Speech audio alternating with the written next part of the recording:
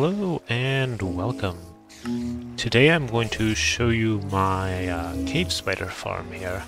Now I already went into a bit of this in a previous video where I talked about how to keep uh, the spiders from climbing on your walls, but a lot of people wanted to actually see like my farm, so I'm going to show off mainly the kill chamber here because there are two important things that you have to consider when you're designing this kill chamber. Namely, you want to be able to not be poisoned when you're attacking the spiders.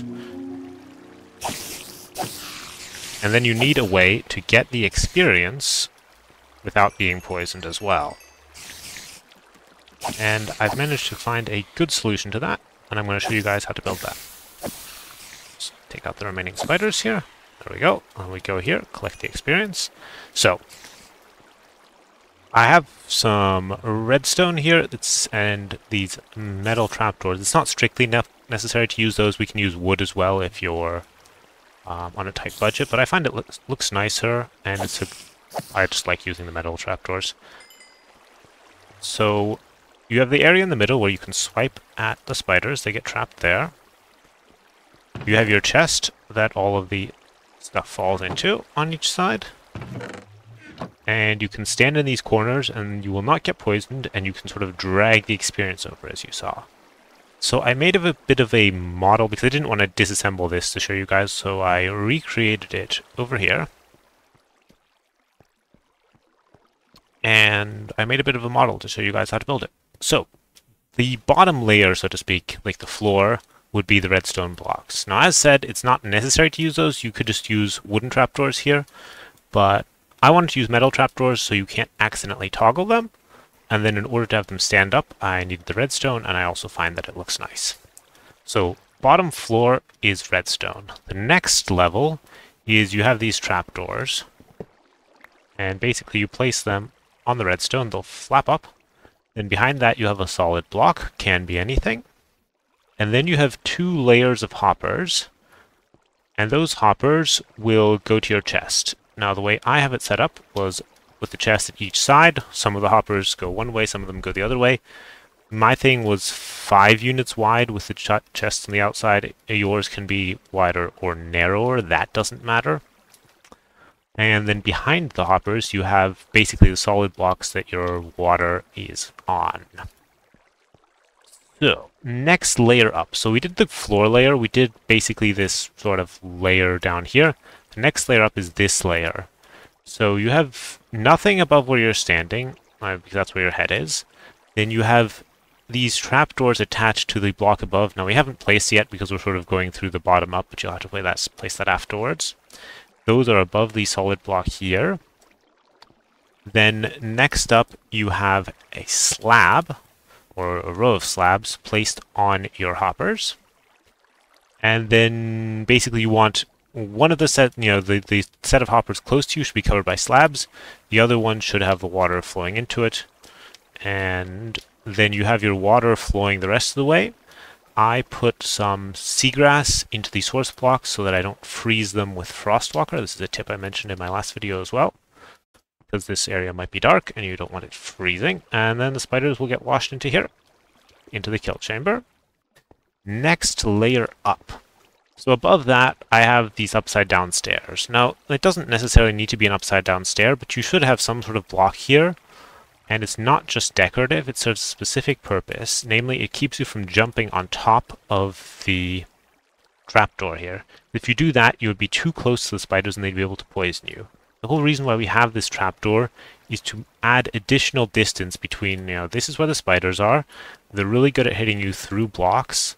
So we add this additional distance and they cannot poison you through that. That's why we add this block here to keep you from jumping so you stand on top of that.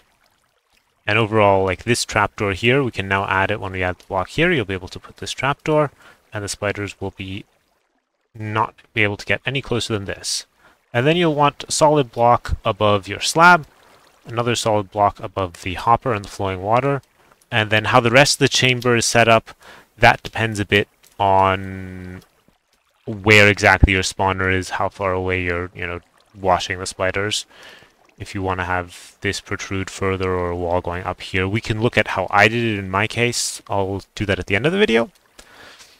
And then the layer above that, I'm just going to mention this briefly, like if you want to be able to walk over where the spiders are, namely here and here, then you need to make this more than one block thick. I have a second block up here just demonstratively, because otherwise the spiders will hit you through the floor. This is another common annoyance with spider farms. You don't want them to hit you through the floor. This is why I have these extra blocks on top.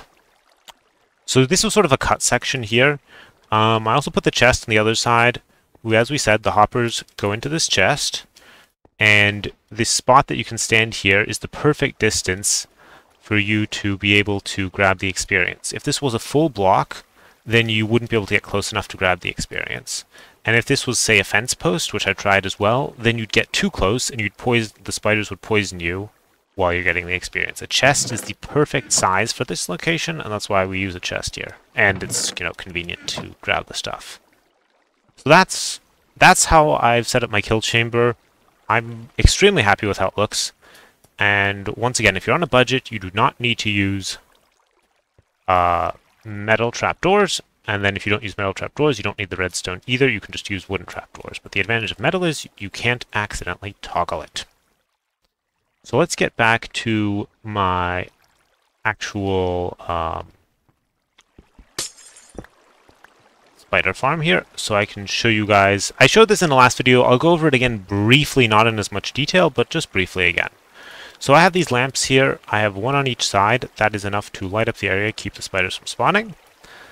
I made it one wider than the total spawn area. So one, two, three, four. That's how far they can spawn.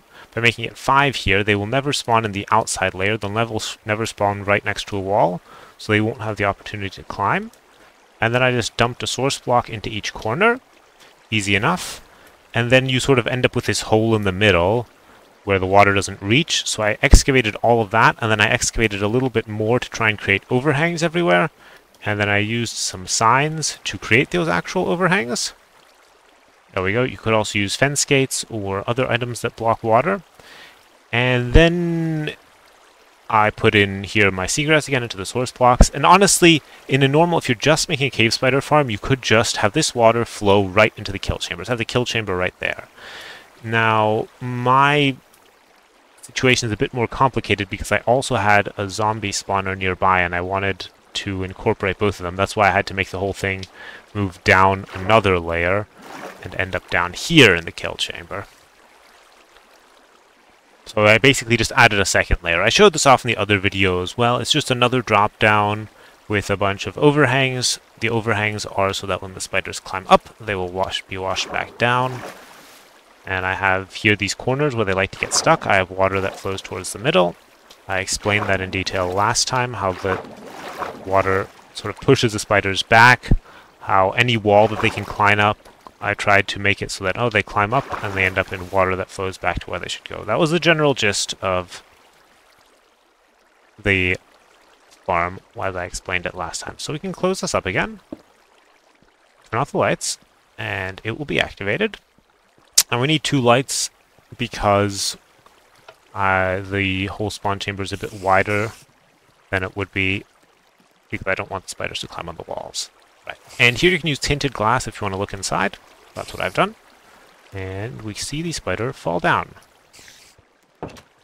And then we have to go down a layer. So here this is sort of the transition layer. This is where you'd normally have your kill chamber if you're just building a spider farm and then you don't have to worry about going down another level and making sure spiders don't climb all of those walls. So I put the kill chamber here normally.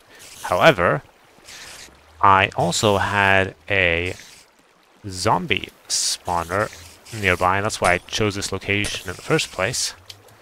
That's here, and that's why I wanted the spiders to go down further. That's why I did it like this. And here, th for this chamber, I just did it really simple. I just dug out the one, two, three, four in each direction, didn't bother because zombies don't climb walls.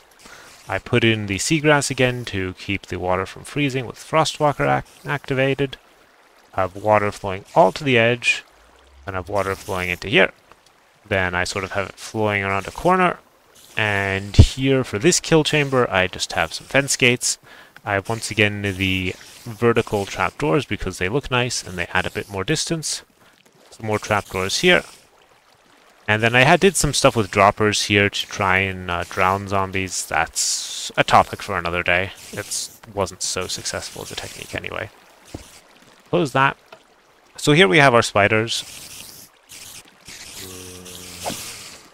We can swipe at them. We can drag the experience to the corner. We can repair our hoe. Uh, not enough yet. And then we can get all the items.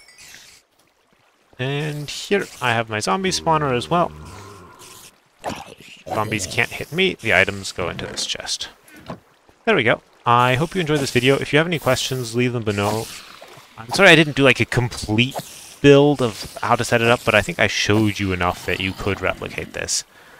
The main reason I didn't go through step by step for everything is, as said, because this is a bit more complicated than it needs to be because I had this second spawner that I wanted to incorporate. But I hope this was helpful. Thanks for watching, and I'll talk to you next time.